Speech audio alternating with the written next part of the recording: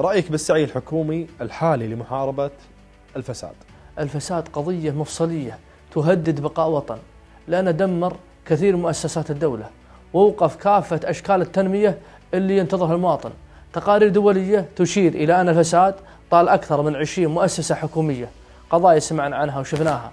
أساءت سمعة الكويت منها التنمية الاجتماعية وصندوق الجيش والصندوق الماليزي وضيافة الداخلية واليوروفايتر وغيرها من كثير من القضايا. وهذه اللي انتشرت كيف القضايا اللي لم يعلن عنها؟ أمانة 728 آه، بلاغ.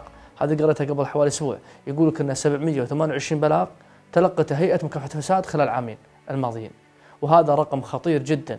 وهيئة مكافحة الفساد هل هيئة مكافحة الفساد تستطيع أن تنجح في محاربة هذه عدد البلاغات الهائل هذا؟ الدليل أن مركز الكويت قاعد تراجع في مؤشرات مدركات الفساد العالمي. الحل الصحيح إذا أردنا إيجاد حل فعلي وصحيح.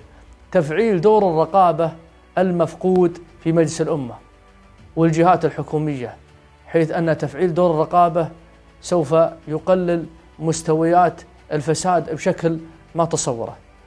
آه، طبعا دور الرقابة متسمى وكذلك في جهات رقابية.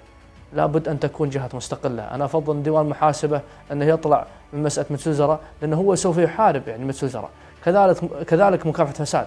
لابد أن تكون هذه الهيئة هيئة مستقلة. لو تتبع مثلا ديوان العهد لأن ما يصير أن هذه الهيئات تكون حدر الحكومة وهي تحاسب الحكومة. وجب علينا في المرحلة القادمة كذلك أن نفتح هذه الملفات وتتم محاسبة الفاسدين وسراق المال العام. لا يوجد أن هذا شخص قريب أو بعيد. الموس على الجميع سواء مواطن ولا شيخ.